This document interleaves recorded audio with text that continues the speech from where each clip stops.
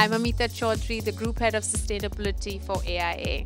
AIA is the largest pan Asian life and health insurer in a region that has 60% of the world's humanity. We have an inspiring purpose of helping people live healthier, longer, better lives, and it underpins everything that we do. Investing in girls and women uh, is not only important for uh, creating a better future for them, but it is important for creating inclusive, prosperous, healthier societies and resilient economies. At AIA, we're working towards gender empowerment at three levels in the workplace, in society, and in sports.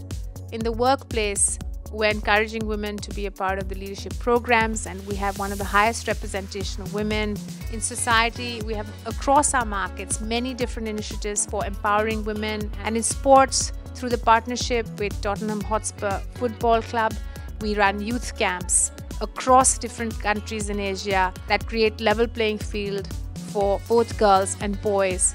If we enable better health outcomes for women, we can enable better health outcomes for everyone in society.